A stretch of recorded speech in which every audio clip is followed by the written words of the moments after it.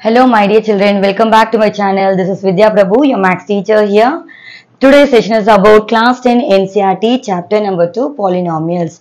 In this chapter we are going to discuss about what is polynomial, how the general form of polynomial will be and what is the geometrical meaning of zeros of polynomial and what is the relationship between the coefficient and the zeros of the polynomial. So first we'll define what is polynomial. The word poly means many. Nominals mean terms. So in general, polynomial is nothing but many terms where either connected with plus or minus forms a polynomial expression. Terms, how the terms will be 2y square, 3x, 4y, minus 6x, minus 4z, etc. These are the terms. When these terms were connected with either plus or minus, for example, 4x power 3 minus 2x square minus 3x plus 4. This is a polynomial expression. The general form of polynomial expression can be written as a0 plus a1x plus a2x2 plus etc till an x power n. So this is how the general form of polynomial expressions are written. So what is a1? So here we have a0, a1, etc. till an are constant or it is nothing but coefficients. Here the variable x is an variable of an polynomial expression. The power, the exponent, the exponent of expression or the power of an expression should be whole number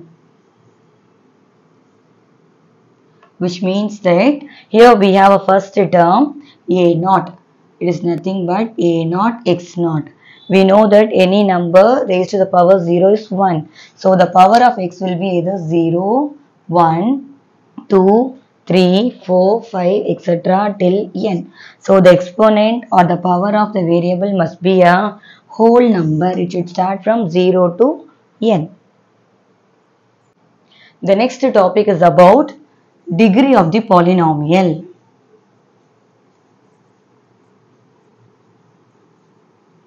It is nothing but the highest value of x.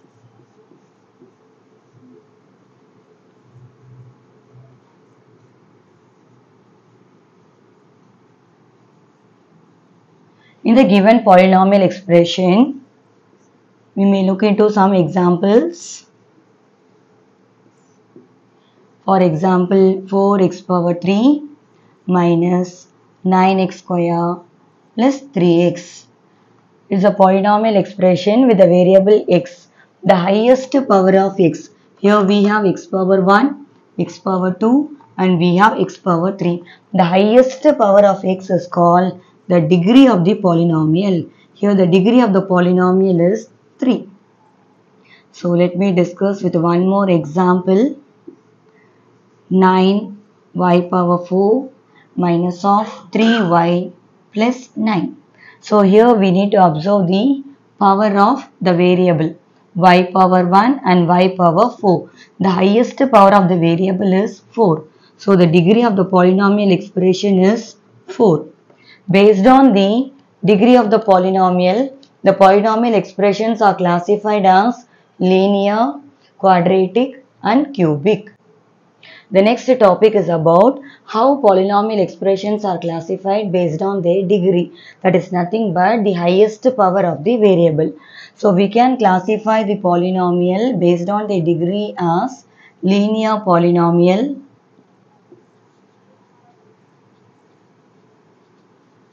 quadratic polynomial,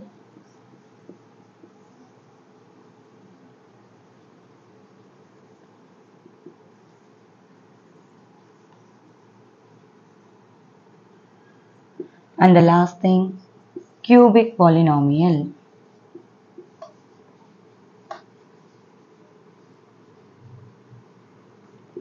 What is linear polynomial?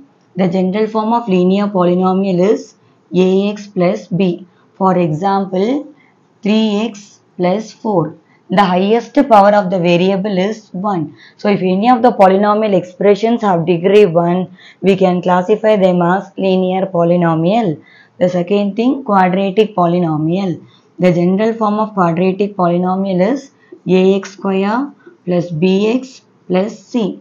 For example, 4x square minus 3x plus 9. Here the highest power of the variable is 2. If any polynomial expressions have degree 2, it comes under quadratic polynomial. The last thing, cubic polynomial. The general form of cubic polynomial is 3a x power 3 bx square plus cx plus d. For example, 5x power 3 minus 4x square plus 3x plus 12.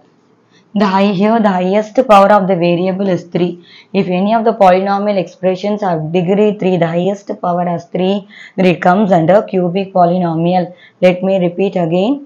Based on the degree, the polynomial expressions are classified as linear polynomial, quadratic polynomial, cubic polynomial. The general form of linear polynomial is ax plus b. They have highest degree of 1. Quadratic polynomial, the general form ax square plus bx plus c. They have a degree 2. Cubic polynomial, the general form ax power 3 plus bx square plus cx plus d. The degree of cubic polynomial is 3.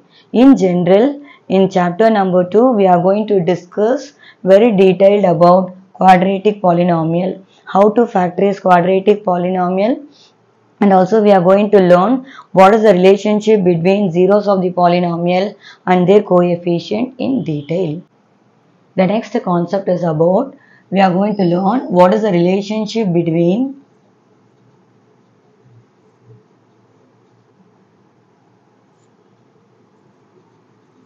zeros of the polynomial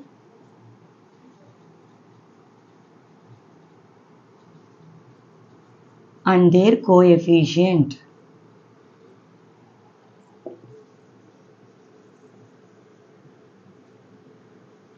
We know that the general form of quadratic polynomial is ax square plus bx plus c. Since they have degree 2, x will have two solutions, two zeros. If alpha, beta are the two zeros of the polynomial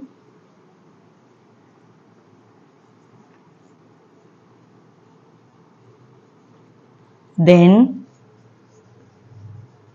first thing you can verify sum of the zeros. Sum of the zeros that is alpha plus beta will be equal to minus b by a. That is nothing but minus b is nothing but the coefficient of x. So b the coefficient of x dividing by a is nothing but the coefficient of x square.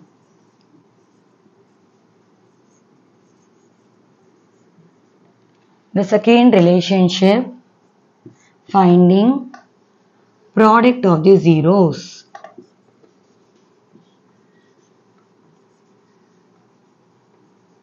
alpha into beta that is equal to c by a. So this must be equal to c is nothing but constant term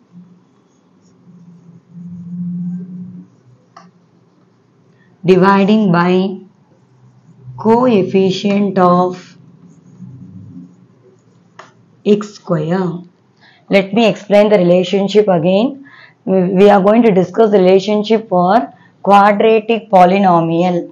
The general form of quadratic polynomial is ax square plus bx plus c where a is a coefficient of x square, b is a coefficient of x and c is a constant term. We know that since they have a degree 2, they will have two zeros alpha and beta. x will have two solution.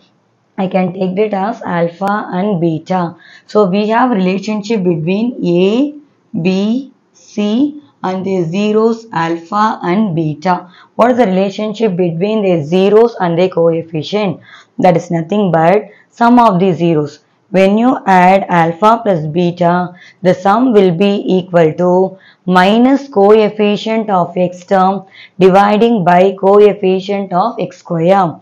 When you find the product of the zeros, that is alpha into beta, the product will be equal to C by A. That is nothing but constant term dividing by coefficient of x square. So in this video we were discussing about what is polynomial. Poly means many, nominals means terms. When the terms are connected with either plus or minus, it forms a polynomial expression. Keep it in your mind, the power of polynomial expression must be a whole number. It starts from 0, 1, 2, 3, etc.